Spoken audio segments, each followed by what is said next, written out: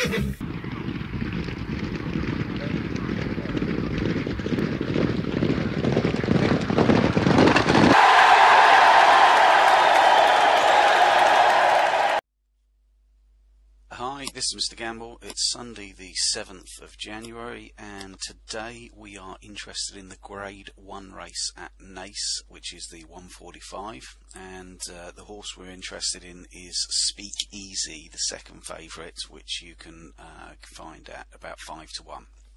Now, Although Next Destination ran well last time out, uh, there is grounds to suggest that he only ran to around 145 that day, with both Cracking Smart and Jets wanting further.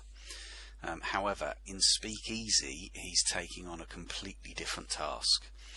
Um, first time out against a 130 plus Gigginstown horse that had been backed off the boards and they clearly expected to win.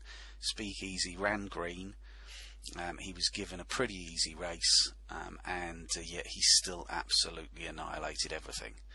Uh, the step up in trip today looks ideal. Um, he will know much more also. Um, the going will be fine. He's going to be fitter. He's going to be stronger. Um, and he should be able to run up to 155 plus today, which is likely to be enough. Now, make no mistake, Next Destination is a very good horse and could win this. But he's two to one on with some bookmakers. And Speak Easy, you have a horse that is likely to be at least as good as him and is ten times the odds. So backing Speak Easy each way is the bet of the day.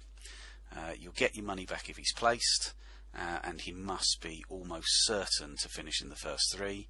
Um, yet he's got a really good chance of collecting the win money too, if he's as good as we think he is.